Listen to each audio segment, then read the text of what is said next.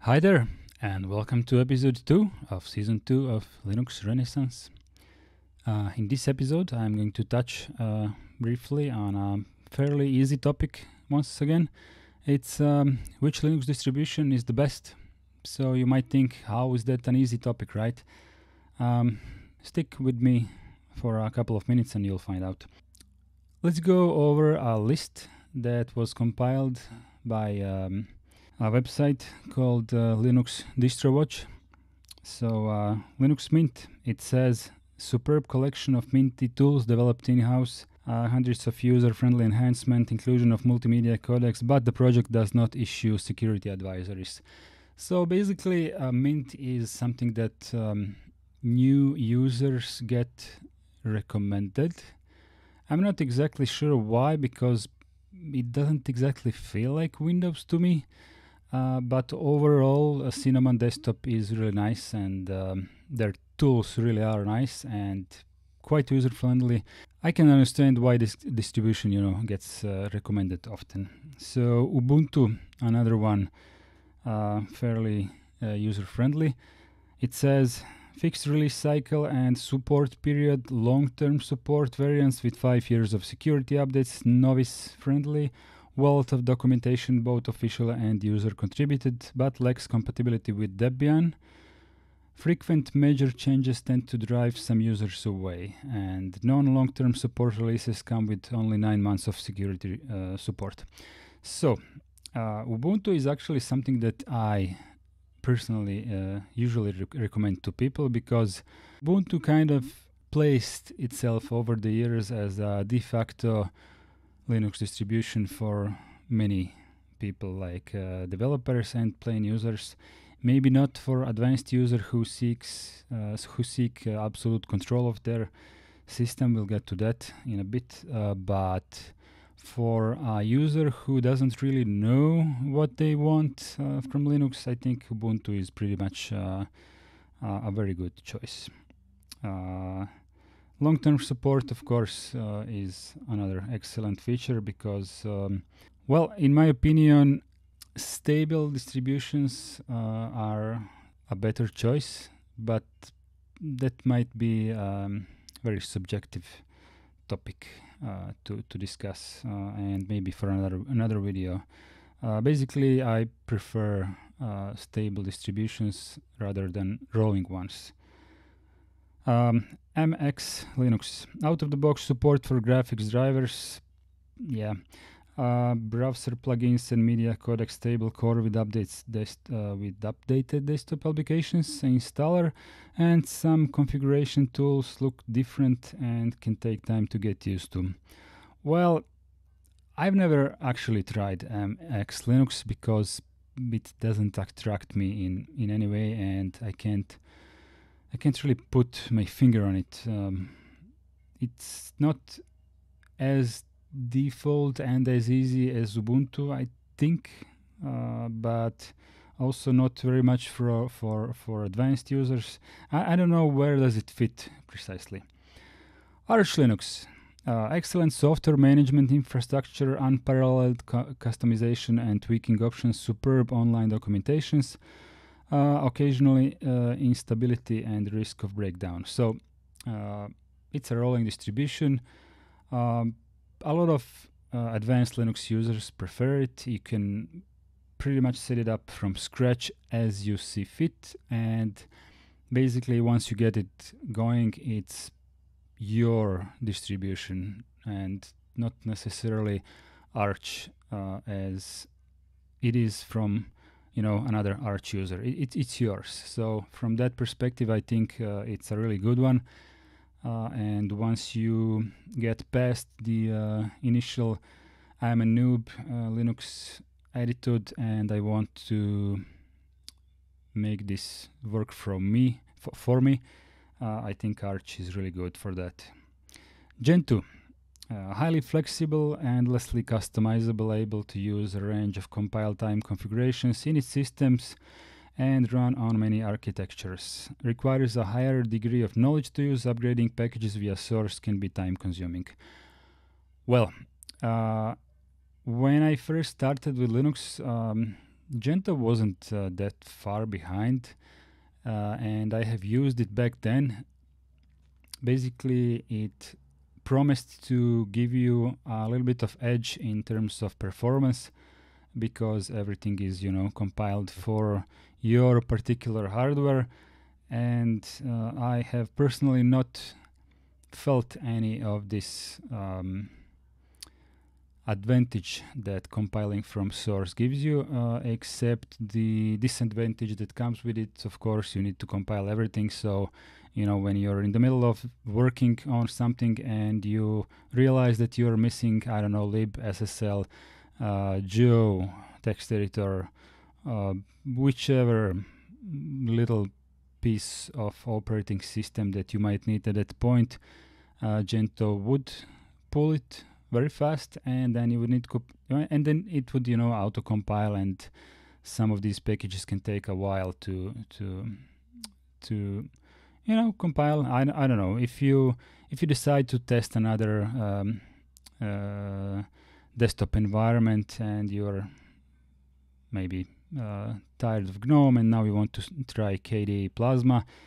Uh, it will take a long time to compile all that so you can mitigate that if you have another server uh, or another computer that uh, will help you with the compilation because in in the um, uh, in the configuration files you can set another machine or another multiple machines to be your uh, compile helpers if you will so the compilation will be much faster but generally um, I can't be sure who that distribution is really for but that's just my opinion um, Slackware considered highly stable, clean, and largely bug-free. Strong adherence to Unix principles, but limited number of officially supported applications. Conservative in terms of base package selection. Complex upgrade procedure.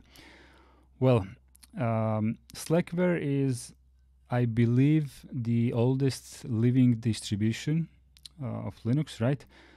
And uh, the fact that it's a uh, considered highly stable. I think it's uh, one of uh, how to put it, uh, it, it's one of mine candidates for, for use. I am not a Slackware user, but if I would switch distributions, uh, Slackware, Slack, Slackware is usually on my list to um, consider, let's put it that way. I did use Manjaro and Arch a little bit, but um, um, and, and some other rolling distributions, but generally uh, I prefer to set up things the way I like, and I prefer to receive security updates uh, and no particular updates to the core of my system, right? So basically, desktop application like Firefox and such stuff, I, I can pull that from, I don't know, Flatpak or Snap, but um, the core of the operating system, I prefer to remain stable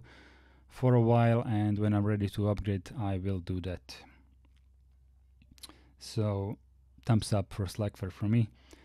Debian, uh, very stable, remarkable quality control, includes over 30,000 software packages, supports uh, more processor architectures than any other Linux distribution but conservative and due to its support for uh, many uh, processor architectures never newer technologies are not always included. Slow release cycle every two plus years. Well uh, currently debian is my distribution of choice uh, but that might be due to the fact that debian was my first distribution of choice I have the most experience with apt packaging system. Um, so I tend to gravitate towards uh, testing distributions that are based on Debian or maybe Ubuntu.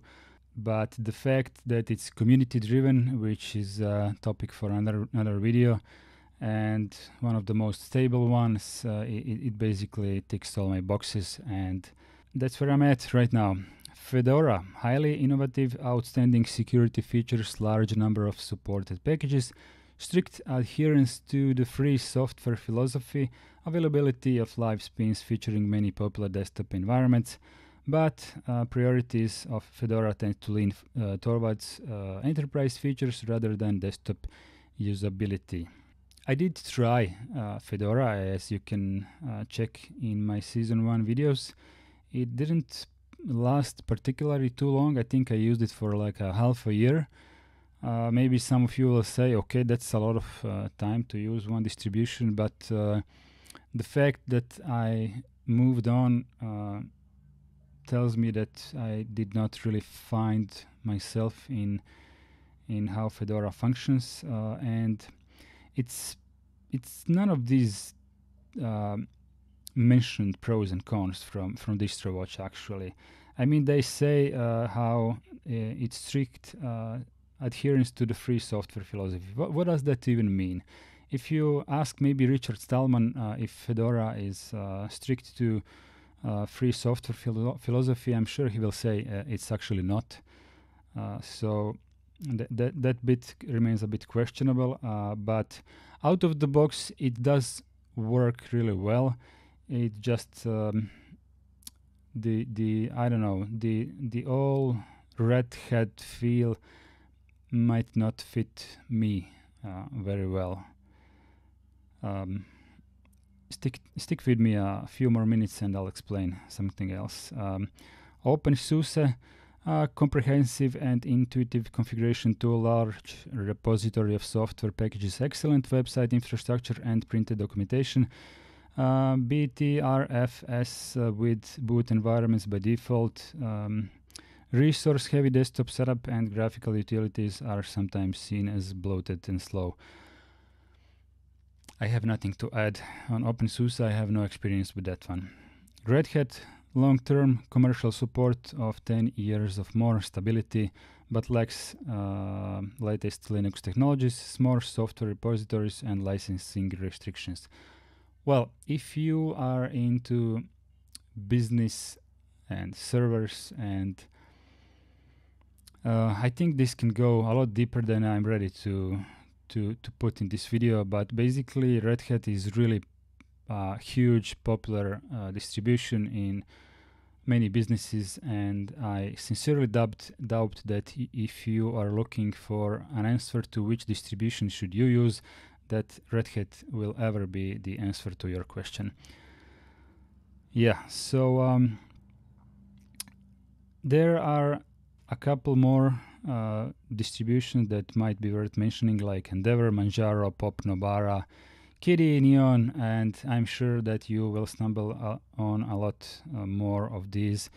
But uh, which one is actually the best one? So if you are a new Linux user and you are wondering this question, uh, you should ask the person who who who has uh, you know experience with Linux, and you should tell them what do you personally expect from Linux. Uh, this might help to you know shape the answer better to fit your own needs. But if you don't give them any input, uh, basically you're going to get an answer that fits the person who you are asking. So if you ask me, you might uh, get the answer that you know Debian is the best because I personally use it and of course is the best.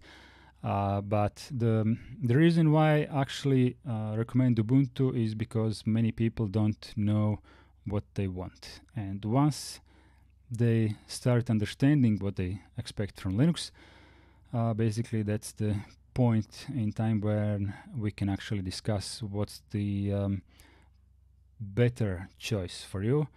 But basically, I think any popular Linux distribution is a very good answer. And um, I think that would be kind of all from me on this video. Let me know what is your personal uh, Linux distribution of choice at the moment and maybe why. I would love to read uh, your reasons for that and maybe you will get me to try one of yours uh, personal uh, favorites and thank you for watching the episode 2 uh, uh, of the season two of Linux Renaissance.